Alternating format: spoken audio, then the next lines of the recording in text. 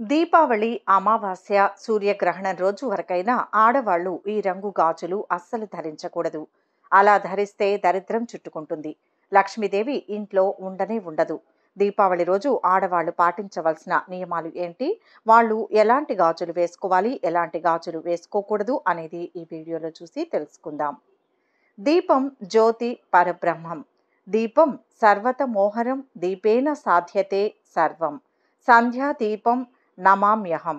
అశ్వయుజ బహుళ చతుర్దశినే నరక చతుర్దశి అంటారు. నరక చతుర్దశి తర్వాతి రోజే దీపావళి. వరాహస్వామికి భూదేవికి అసుర సంధ్యా సమయంలో జన్మిస్తాడు నరకుడు. లోక కంటకుడైన నరకుడు విష్ణువు చేతిలో చావులేని విధంగా తల్లి చేతిలోనే మరణించేలా భూదేవి వరం పొందుతుంది. దీపావళి రోజు లక్ష్మీదేవిని విధిగా పూజించాలి. సంపద శ్రేయస్సుకు దేవతగా చెప్పుకునే లక్ష్మిని పూజించేటప్పుడు కొన్ని నియమాలు ఉన్నాయి. సాయంత్రం వేళలో పూజ ప్రారంభించాలి. దీపావళి ప్రతి పూజలోనూ వినాయకుణ్ణి ఆరాధించడం సంప్రదాయం. లక్ష్మీదేవిని విఘ్నేశ్వరుణ్ణి కలిపి పూజిస్తారు. లక్ష్మీ పూజలో భాగంగా ముందుగా పసుపుతో వినాయకుణ్ణి కొలుస్తారు. దీపం వెలిగించి ఇప్పుడు చెప్పబోయే మంత్రంతో పూజ ప్రారంభించాలి. శుక్లాం భరధరం విష్ణుం శశివర్ణం చతుర్భుజం. ప్రసన్నవదనం ధ్యాయేత్ సర్వ విఘ్నోపశాంతయే. దీపత్వం బ్రహ్మరూపోసి జ్యోతిషాం ప్రభురవ్య.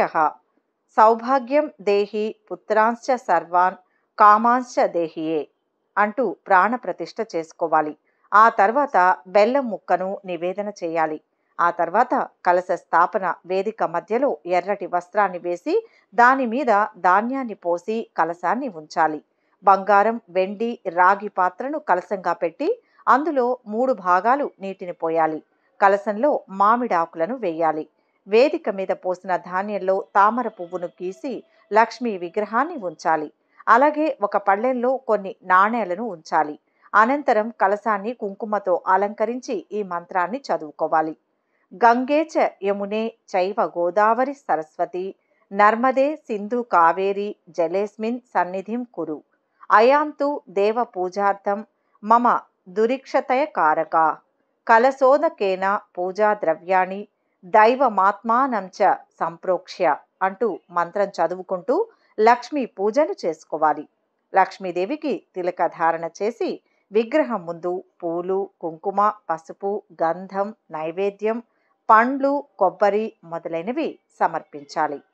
అలాగే బంగారు వెండి ఆభరణాలు ముత్యాలు నాణేలను కూడా సమర్పించవచ్చు. లక్ష్మీదేవికి పంచామృతాలతో అభిషేకం చేయాలి. ఆ తర్వాత శుద్ధోదక స్నానం చేయాలి. ఆభరణం ముత్యాన్ని నీటిలో వేసి ఆ నీటితో అభిషేకం చేయాలి.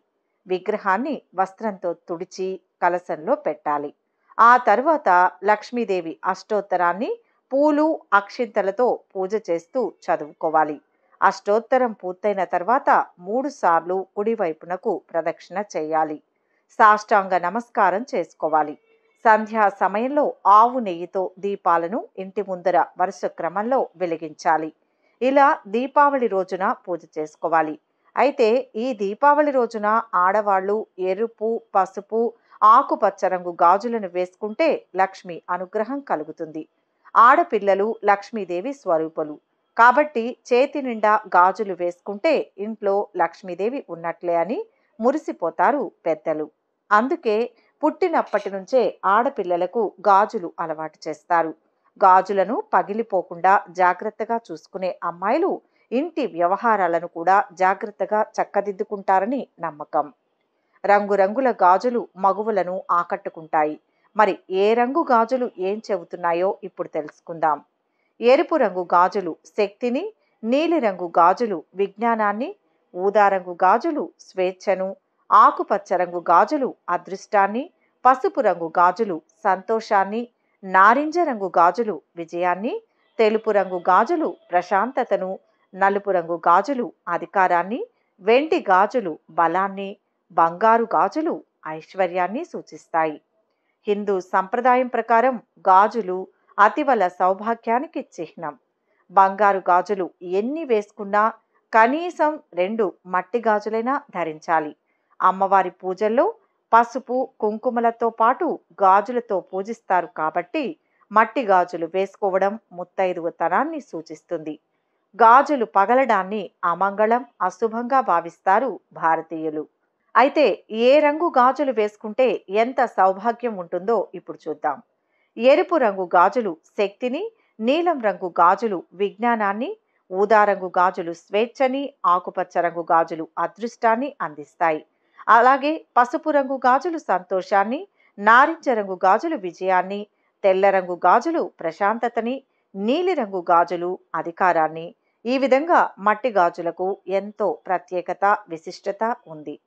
శక్తి స్వరూపిణి అయిన అమ్మవారి పూజలో పసుపు కుంకుమలతో పాటు గాజులు పెట్టి పూజించడం పూర్వకాలం నుంచి హిందువుల ఆచారంగా వస్తోంది. ముత్తైదువులకు గాజులిచ్చి గౌరవించే సంప్రదాయం హిందువులది. మణికట్టు భాగంలో గాజులు వేసుకోవడం వల్ల ఆ గాజుల యొక్క ఘర్షణ రక్త ప్రసరణ వ్యవస్థను పెంచుతుంది. గాజులు ముఖ్యంగా గర్భంతో ఉన్న మహిళకు పెడతారు. ఎందుకంటే గాజులు చేసే శబ్దాలు ఉద్దీపనలను అందిస్తాయట. వాటి శబ్దాలు కడుపులోని బిడ్డకు మంచి సంగీతంలాగా వినిపిస్తుందట. నిండు ముత్తైదువ చేతి నిండా గాజులు వేసుకోవడం వల్ల తన భర్తకు అన్ని విధాలా మంచి జరిగి అదృష్టం కలిసి వస్తుందని శాస్త్ర నిపుణులు అంటున్నారు. అయితే పగిలిన గాజులు మాత్రం అస్సలు వేసుకోకూడదు. అలాగే నలుపు రంగు గాజులను కూడా వేసుకోకూడదు. అలాగే ప్లాస్టిక్ గాజులు కూడా పెళ్ళైన స్త్రీలు వేసుకోకూడదు. అలా వేసుకుంటే ఆ లక్ష్మి ఇంట్లో తిష్ట వేసుకుని కూర్చుంటుంది.